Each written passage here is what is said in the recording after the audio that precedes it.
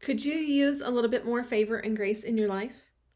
Well, let me help you out. So, we're going through the Create Your Victory Channel Journal 365 journal prompts to capture the goodness of God. And today's prompt, found on page 309, says, He will withhold no good, no good thing from those who do what is right. So, this is the point here. This, along with so many scriptures, people miss their responsibility in it and they're just waiting with their hands out. And in this scripture, he says, from those who do what is right. So I want you to take some time today to journal that. Um, what does that mean to you personally? You can look up the, the verse that goes along with that, which is um, Psalms 84 11.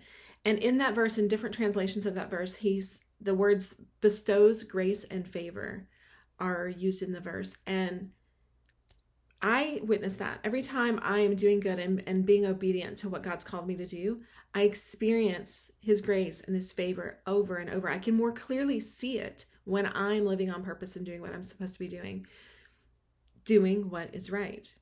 So I want to encourage you if you're not feeling so um, full of grace and, and, favor right now, maybe you're not listening to what He's asking you to do, and maybe you're not um, doing what is right in His eyes. So take some time, uh, journal, talk to him, see what he's got for you, and we'll catch up again on the next prompt.